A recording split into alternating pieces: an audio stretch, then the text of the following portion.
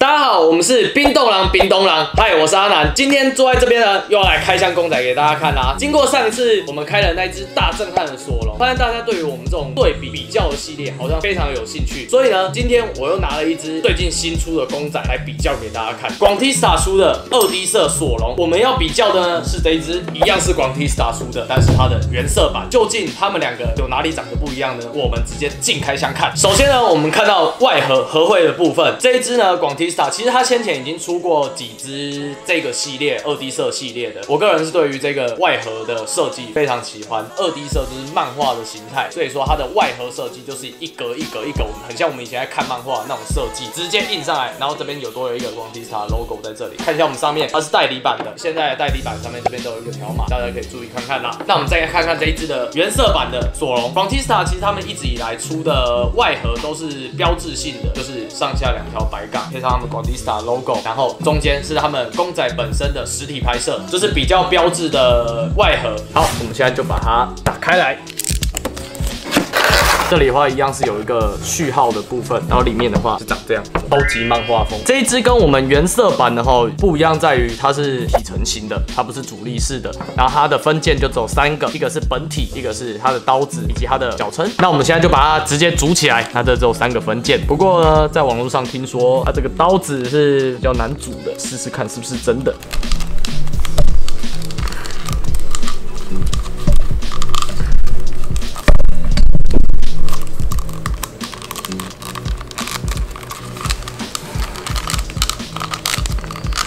好，来吼，它的刀子是三把比较厚实、比较立体的刀子吼，所以说它的这个跟网络上说的是一模一样的吼，是比较难组装的，尽量把它压到密合，好不好？它后面还是会有一条小缝缝，不过没关系，看起来还是帅的。把我们的脚撑放上去，整体起来，我们已经把这一只二 D 色的索隆组起来了。好，我们再开完另外一只，等一下再做比较给大家看。这是我们第二只黄 T Star 的索隆，这一只哈是金正的哈，这只是金正的日版金正。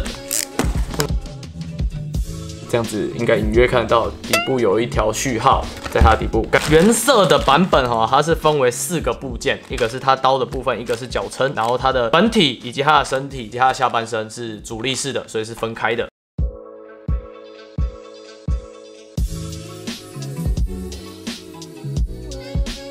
好，我们分件总共有四个，刀子、脚撑、上半身以及下半身。我们现在就先把它组起来。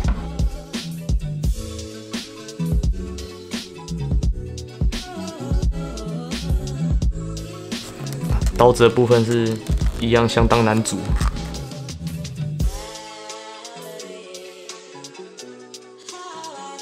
我们把这只原色的也组起来了，一样，他们在刀剑的部分哈，由于它的立体感也是很重哈，比较比较厚实一点点，所以说它这个靠上去真的是需要点力气，有点硬，有点难装上去。然后后面的话，我刚刚已经尝试过了哈，不管是原色还是二 D 色，它们的后面组起来还是会有一点点小缝隙，接不起来。如果说你对这只公仔呃有爱的话，就是想要把它长期摆放的话，建议是可以用就是模型用的粘胶把它粘起来，会比较稳固一点点。现在两只都组起来了，我们来看一下，它光是颜色上在这里。两只上面就有非常大的差异，在我们灯光这样照下去吼，二 D 色显得是非常的写实。不过在我现在这样看来吼，我是觉得这两只是几乎已经是不一样的公仔了。两只都有它的美的所在吼。我们先来看一下这只二 D 色索隆的部分。我们先来看头雕，它头雕的话，二 D 色基本上呢，它都是呃单边限定，就是说呢，它的涂装会以一个角度下去设计它所有的阴影，所以说你会由一个角度看下去，它是最帅。像这只索隆呢，就是这样子从侧脸看过去。那你从另外一边看会很像呃烧伤的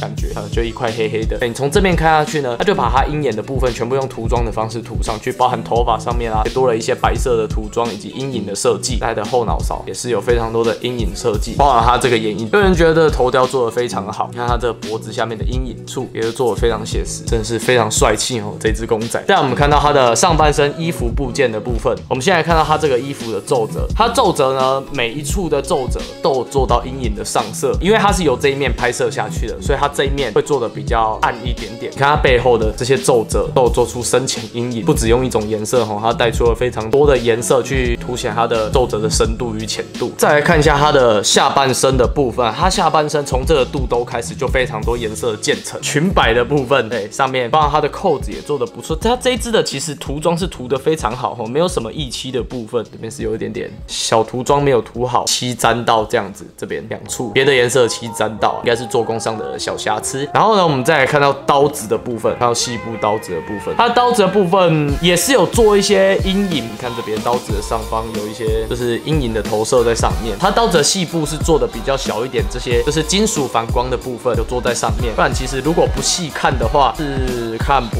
太出来的。它鞋子的部分呢也没有马虎哦，它用了非常多的色块去表示出它的二 D 色的涂装，用灰色以及黑色去表现出来，还有白色去表现它的亮点，以及鞋子的皱褶都表现在上面。我们再来看看原色版本的。首先呢，我们一样是从头雕开始，这个头雕呢有没有感觉是不一样公仔的感觉？我们刚看完二 D 色，现在突然看回原色，个人觉得没有谁好谁不好。它本身的衣服的话，皱褶感也是做的非常的漂亮吼。就二 D 色，它是用它是用颜色去区别，它本身就做的非常的不错，这个皱褶感。只可惜这个分线的话是比较明显一点点。不过你看，像这个肌肉纹理啊，上面的刻画也是做的非常的不错。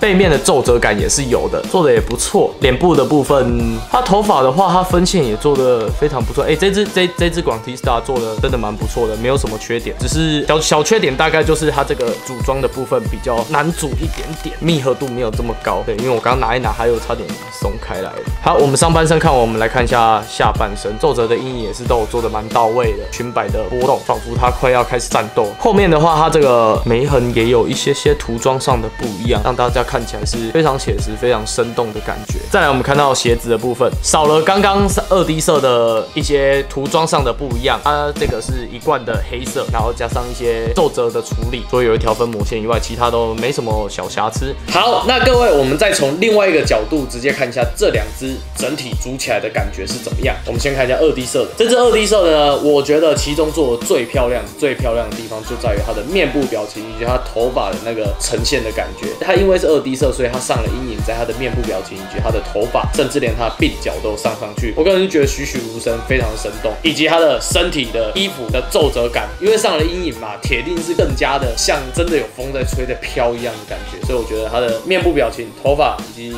衣服，我觉得是做的非常的棒的。然后再来我们看看原色版的，原色版的相较下来就比较朴实一点点。那还有一个非常优点的优点，就是它的肌肉线条，它肌肉线条的刻画，相较于二低色显得自然很多。总体下来呢，我觉得两只各有千秋，都做的非常棒，没有什么小瑕疵。以上呢就是我们这两只公仔的对比以及开箱。当然呢，在影片的结尾一定会有大家最喜欢的片段，也就是抽奖啦。我们要一次把这两只公仔抽出去给正在观看的你们。抽奖方式呢，按赞、订阅、分享以及留言。留言留什么呢？请帮我留言你喜欢哪一个版本的索隆，或者是我两个都喜欢，在底下留言让我知道。如果想要看更多公仔对决的影片呢，欢迎在底下留言。你想要看哪一只公仔对决影片？下一次对决就是你喜欢的公仔。我们是冰冻狼，我是阿南，我们下次再见。